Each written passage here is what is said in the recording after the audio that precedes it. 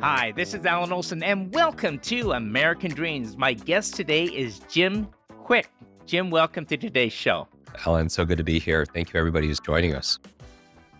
So, Jim, you know, for the listeners, you have quite a remarkable story, a story that as as you've journeyed through life, nothing was ever easy, and it um, it started back when you're in your younger years. You grew up with suffering a traumatic head injury and became known uh, as an individual with a broken brain. I don't know if that's a fair statement, but yeah, can you give your story to us so we can better understand what you went through?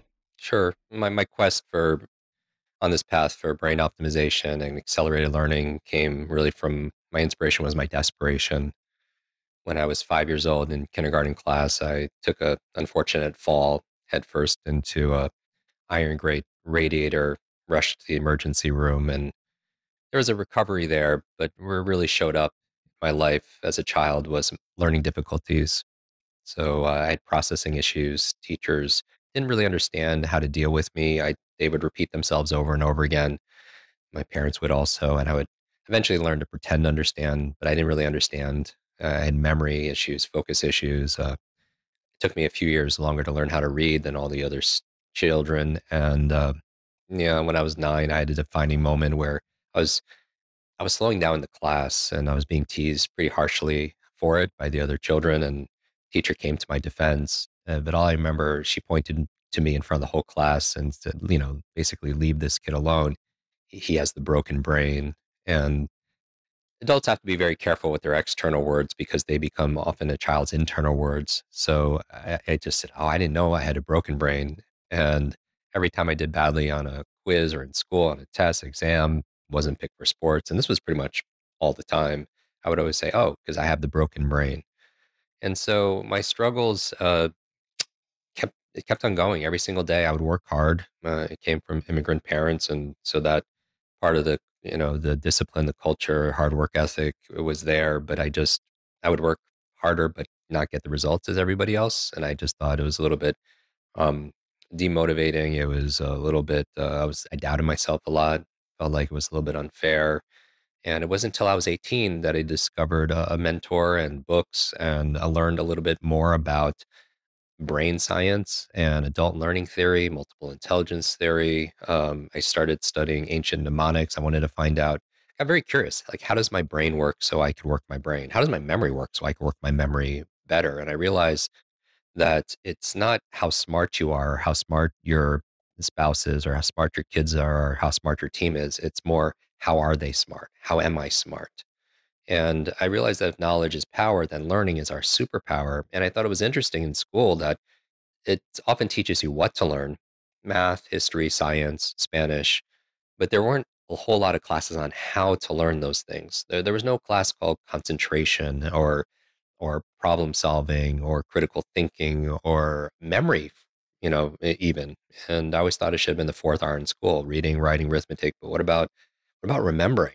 right? Socrates said there is no learning without remembering. So I started studying those subjects, you know, really an area called meta learning, the art and science of learning how to learn. And when I did, I just my grades shot up, and uh, and I started with that passion. I couldn't help but help other people because I actually felt a little bit embarrassed and actually a little upset that I wasn't taught these things earlier, and I started to tutor and one of my very first students, she was, I remember she, like it was yesterday, she, she was a freshman in college and she read 30 books in 30 days. Now, I, I know how she did it because I taught her some advanced uh, reading, comprehension, speed reading uh, techniques, but I wanted to know why. I'm very curious why some people follow through and implement uh, what they learn and other people don't. And I found out that her motivation was her mother. Her mother was diagnosed with cancer Doctors gave her mom only a couple months to live, maybe 60 days, and the books she was reading were books to save her mom's life. And well, health, wellness, medicine. And fast forward six months, I get a call from this young lady, and she's crying and crying.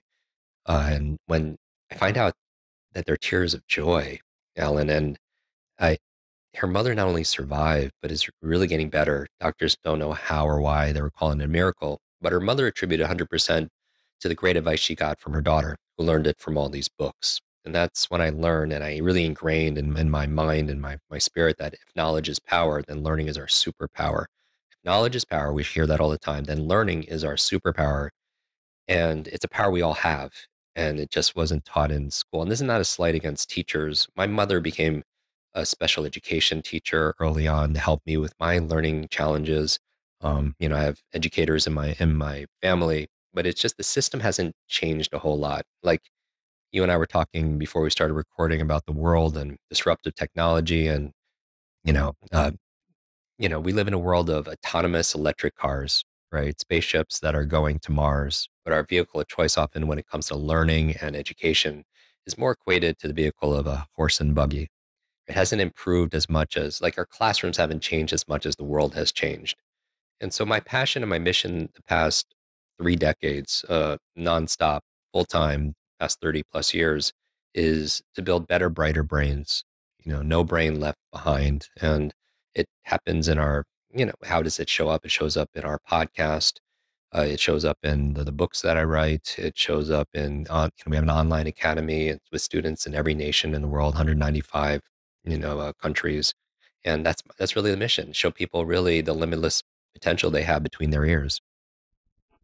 So this is a fresh look at at you know coming into a world of constant change where people are saying, you know, hey, how do I adjust? Mm. Um, what do you do as a brain coach? So just like any coach, a coach is somebody who takes you from your current state to a desired state in an effective, enjoyable, maybe enjoyable process because they can fast track you because having a coach, uh, just like a personal trainer. A personal trainer, you if you have one, it would they're there to get your body in shape. They want to make you your muscles stronger. They want to make you more pliable, more flexible, uh, greater endurance, greater levels of energy and agility.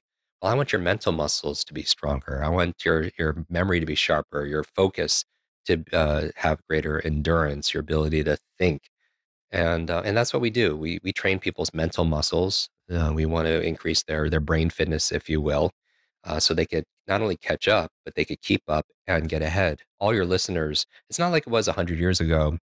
It, you know, we're agricultural age, industrial age. It, back back then, it was like your muscle power that was your worth, and but today's your mind power. It's but it's not. It's no longer your your brute strength as a hunter gatherer. It's your brain strength, and and so I believe we live in the millennium of the mind and the faster you can learn the faster you could earn. And that's that's what i do. And so we take an approach um, where we take you know the new the latest neuroscience applied towards learning and performance and productivity. We also draw on ancient wisdom. Like i wanted to when i first learned these i got very curious. I wanted to find out what did people do before technology before there were you know uh, computers before there were even printing presses how did people memorize information and and recall it. And so I started studying the ancient Greeks. What did they do a couple of thousand years ago to be able to be uh, pass on history, uh, to be able to be a great orator? And so um, we put it together in, in the work that we do, and we take a more of a whole self approach. It's not just left brain, right brain, but it's your three different brains: your conscious, your unconscious. It's your sleep, uh, the best of brain food, stress management, and and so much more. So there, there's I realize there's no magic pill. Everybody wants to take like a limitless pill to fix their their memory or their focus. But I realize that there's no such thing as a good or bad memory. There's no such thing as a good or bad brain. There's a trained brain and an untrained brain. The challenge is sometimes with technology, and I love technology. It allows this you and I to connect like this, and uh, to us to inspire, to empower, to educate, uh, to entertain. Um, and also, if we're too dependent on technology, then maybe we don't have to use our mental muscles as much anymore than if somebody just took uh, their car to go to the post office, uh, you know, to five blocks instead of using their body, or they take uh, an elevator to go up uh, three floors to their apartment. They don't have to get the exercise on the stairs. So I, I think that there's there's a balance there.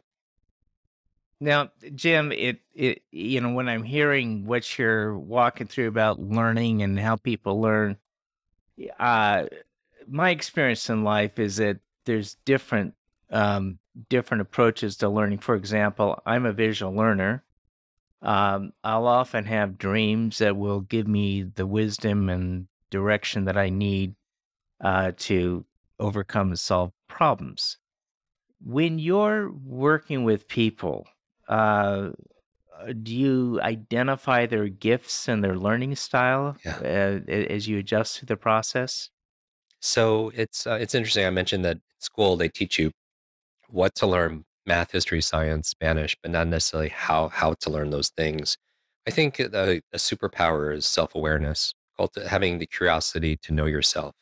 And then the other part of success and fulfillment, I feel like not only having the curiosity to know yourself, but also having the courage to be yourself also as well. So many people go into uh, talk therapy, they journal, they they self reflect, and they build their intrapersonal intelligence, their self to self intelligence and IQ. Um, and then they also, you know, the other part is expressing that to the world. Uh, in in Limitless, for example, we have it's full of assessments in terms of primary learning styles, preferred learning styles, uh, multiple intelligence theory, and so uh, assessments based on the work of Howard Gardner out of Harvard University, basically saying things like IQ is is a little bit outdated metric for somebody's potential and their gifts. That you could the idea that you take a test when you're eight years old and that's uh, your kind of your fixed potential when you're 88 years old and everywhere in between is not really set because even if you look at standardized tests here in the US, you look at things like uh, the SATs, it was testing for, for only two forms of intelligence, really, primarily. There was math, right, logic, and the other part was verbal, uh, linguistic. But there's so many other different forms of how people show up in the world how genius uh, shows up, meaning somebody could have great kinesthetic intelligence. They're an incredible athlete or choreographer, musical intelligence, um, also visual spatial intelligence, the great artists, graphic artists, architects, if you will, interpersonal intelligence, people like yourself who are just uh, who are just this natural charisma. They could connect with with with strangers very quickly and um, and, and have greater influence, like uh, which might show up in sales or and then forms of leadership. And no, nobody's any one thing. Um, so there's different multiple intelligence. So we have all those different assessments in our work, including um, my book Limitless, and people could just take those assessments and, and get some um, wisdom in terms of how they work their best. Again, not how smart they are, but how are they smart specifically. So, have you found that individuals with ADHD learn differently from other people? I, I take a very strength based approach to, and so I'm not trying to necessarily fix anything. I don't, I don't think, I think how people show up in their unique gifts is unique, just like every superhero. You know, and not everybody is a Wonder Woman or a Captain America. Some people have different superpowers. Some are super fast. They're super accurate with their their bow and arrow, if you will it's interesting when you look at nature and you're modeling Mother Nature. Every creature has a superpower. Some could fly, some could climb, some could breathe underwater. Some are super fast or super strong. Human beings, interesting that we're not any of those things naturally, but we, because our superpower lies between our ears, right, our, our brain, we can do all those things. We can fly because of the mind. We can uh, breathe underwater. We can be super fast or strong and um, and I believe the future belongs to those creators in a, in a world where a lot of opportunities being outsourced uh, or going to machines, uh, artificial intelligence, automation. What's not going to as easily uh, be outsourced is you know in our careers or opportunities is truly what's limitless. There's no limit to our creativity. There's no limit to our ability to solve problems. There's no limit to our imagination, our ability to come together. Also, also as well and so, you know, I, to live in a world that's diverse, neuro diversity, um, where everybody is acknowledged, where it's you could have a strength based um, approach to things like ADD, ADHD, dyslexia. Um, as you know, in you you know, it's almost cliche, but we we all know leaders who are achieving in, in areas of athletics or commerce and in um, in business that have uh, that grew up with dyslexia or ADHD, and it forced them to see the world in a different way, and they come up with different uh, behaviors and uh, solutions uh, than than others. And so I, I, like to encourage. I think it's finding out who, who, we are and how we work, and then and then developing those those strengths, and then creating a team around us. You know, a learning organization, um, just like uh, like superheroes come together. You know, it's really great to see Marvel and DC, uh, Batman have their movie and Wonder Woman have their movie, and you know, but when they came together as the Justice League, or they come together as the uh, the Avengers, and then they're they become an, a pretty inspiring uh, unstoppable force of nature. I think you just answered, but I'm going to ask the question anyway. So, how would you help someone that struggles to make decisions? So, uh, it's interesting. Choices are everything, right? The decisions that we make every single day. In one way of looking at it is our life is a sum total of all the decisions we've made up to this point, right? Mm, you know, where we're going to put our focus, where we're going to live, who we're going to spend time with, where we're going to eat, you know, when we're going to go to sleep. All these little decisions add up to big decisions um, and habits in our life. And I believe first you create your habits, then your habits create you. That every decision we make is not only what you're going to do, it's who you're going to be at that moment, you know, in terms of our identity. I would say that um, there's a quote in my in my book Limitless from a French philosopher that says, "Life is the C between B and D." Let's break that down. Life is C, the letter C, between the letters B and D. And B stands for birth, D stands for the other side, death. Life, C, choice, right? So the decisions that we make, and I believe that these difficult times, they could define us. These difficult times can distract us. These difficult times can diminish us, or these difficult times can develop us. Ultimately, we decide. Uh, the challenge is, is, you know, school teaches not only what to learn um, as opposed to how to learn, but it also teaches what to think as opposed to how to think. And this area of metacognition, learning how to learn or thinking about our own thinking, I think becomes more paramount in a world that's in constant flux, disruption, and transformation and change, right? Our ability to learn, to unlearn, to relearn something is, is, is a superpower. Because if you can learn how to learn and learn how to think and focus and concentrate, retain, implement, you could apply that towards any uh, subject matter math, money, marketing, management, martial arts, Mandarin, you know, everything in your life gets easier when you can learn how to learn, learn how to think. Um, and we're not given frameworks even to how to make a good decision.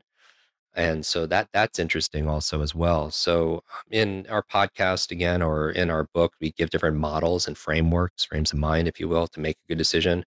Uh, one of them I highlight there is uh, six thinking hats, and this is uh, credited by created by Edward de Bono. That basically the idea here, and I'm oversimplifying, is that let's think about a decision or a dilemma that we're facing, some kind of difficulty, right? Most people get stuck because eh, with insanity doing the same thing over and over again, expecting a different result because they're looking at it from the same point of view.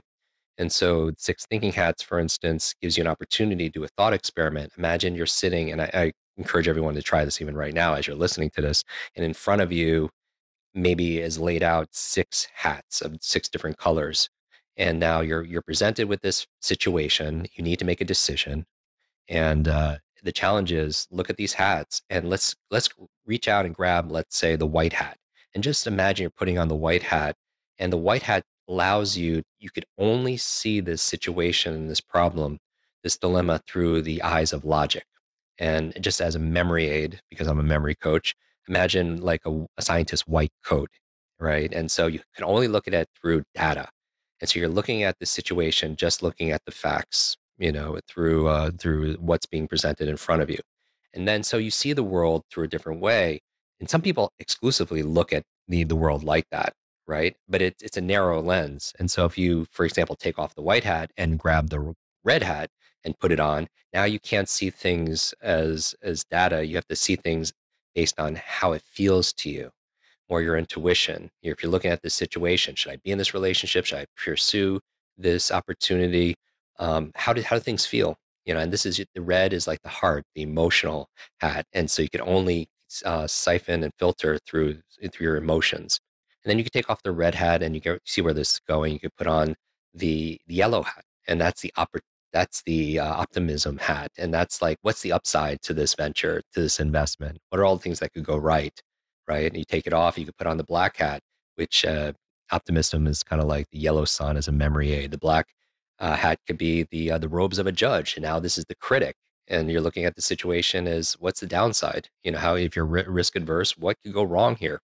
And so you're looking at that. And then and you go, it goes on and on. The green hat is the one of like maybe the third opportunity. It's green like grass, it grows. And so, what maybe it's not between this or this, maybe there's a third uh, new idea, right? Something that's that's more creative uh, path uh, that we haven't explored yet. And then the blue hat is interesting, and I'm oversimplifying this, is kind of like the blue sky. It listens to all the other hats, and it's kind of like the manager. It listens, and then it it takes all that information and then makes a more uh, a vivid, more accurate decision because it got to see things from different perspectives. And so mm, the idea here is sometimes you have to go to know. We we do an annual brain performance, uh, brain health fitness uh, conference, and we had Quincy Jones there a few years back, and we brought him on stage unplanned, and I just asked him all these questions. And I, one of the questions was, uh, you know, you know, you're you're 80 something years old. Every, everyone knows all the Grammys and the Oscars and Thriller and We Are the World. What were the problems you know, I want to know what what what kind of what are, you, what are you facing right now? What are the problems? And he said, Jim, I have I don't have any problems. I'm like, all we all have problems. What he's like, no, I have puzzles. And I was like, ooh, interesting. That that's an interesting filter because puzzles it means there's a it's fun, right? Who who doesn't love a challenge? There's a solution there. And then we're talking about language learning a little bit and travel. And uh, Quincy uh, is pretty proficient in like 20 something plus languages and there's a correlation between that and and the music uh, and that that part of your brain, music and movement and language learning. And he had this phrase like, "You have to, Jim, you have to go to know."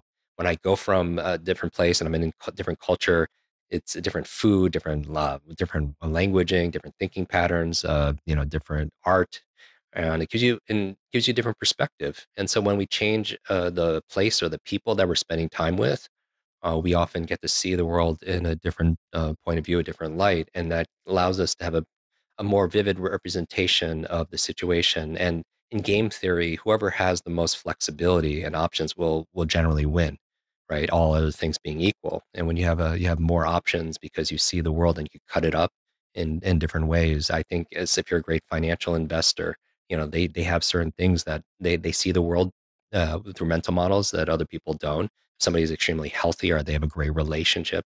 And it might be unconscious also as well.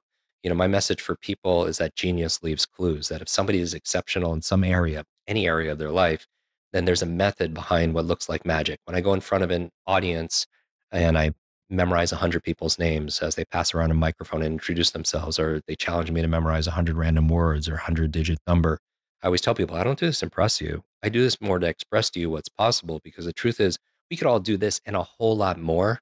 We just weren't taught. Right. And, you know, with my challenges, it's interesting that through struggles, these, you know, what learning was a struggle, it became a strength.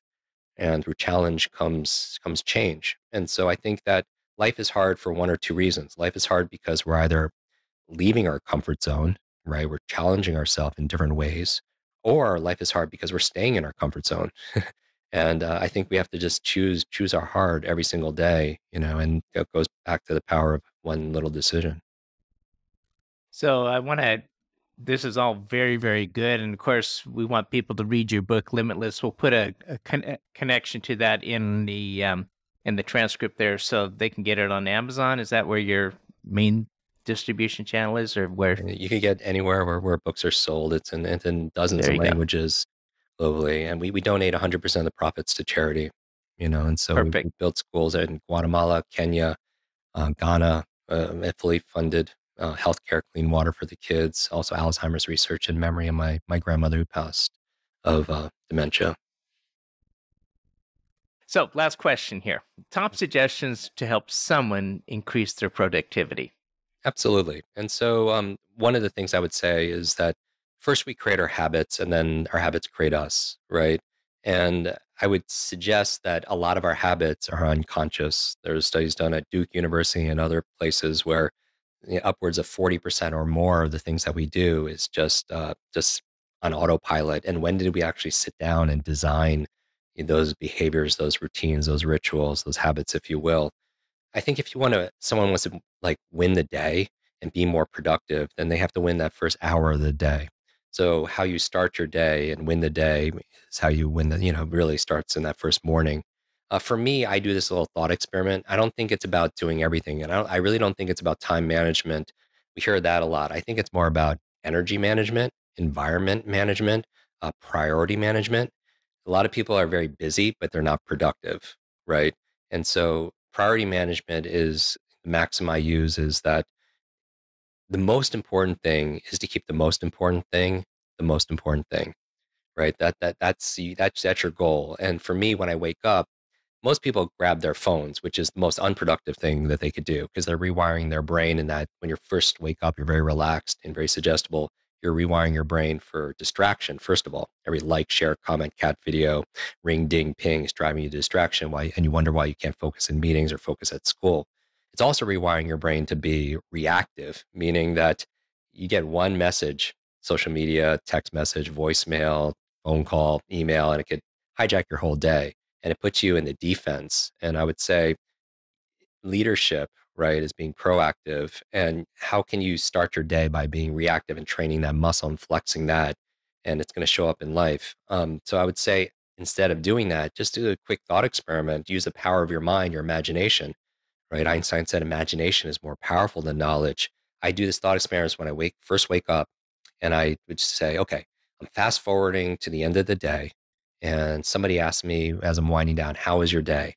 And I say, Wow, it was awesome. I crushed it today. Today was incredible. Then I say, Okay, what had to happen in order for me to feel that way?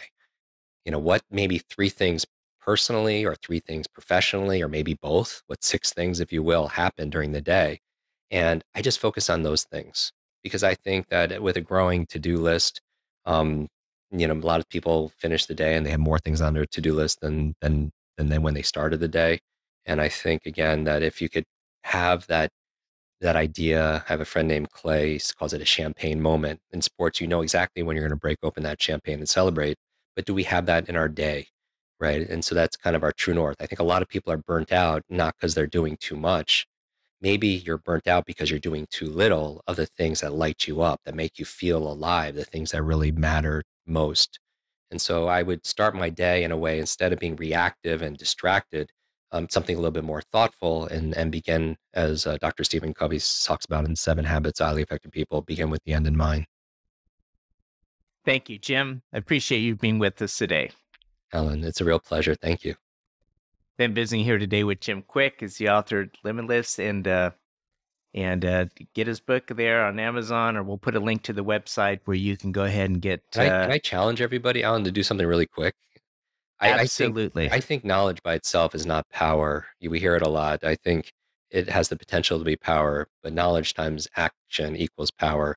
And I think one of the best ways to learn faster is to teach it to somebody else. And I really appreciate your show and how you show up. And when we first met in person, I would I would challenge everyone to take a screenshot, something very a small simple step everyone could do. Take a screenshot of this episode wherever you're listening to it and consuming it, and post it on social media and tag Alan, tag myself.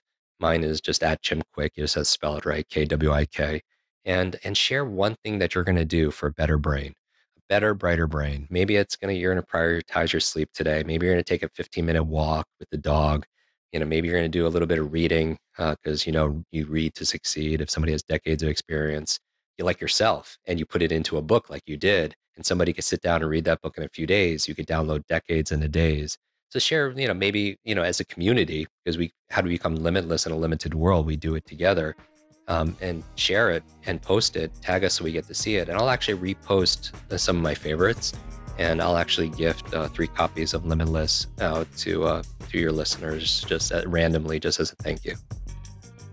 Thank you, Jim. Thank you.